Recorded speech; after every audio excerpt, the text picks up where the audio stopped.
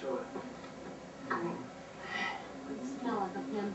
It's the only way to get yourself off my cake out.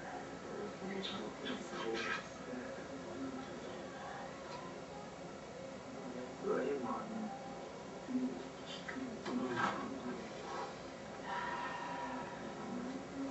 Hey, come. What? Go get dressed. What for? Because I want you with me. Ew. Mm. Thanks for the day. Besides, I can pretty much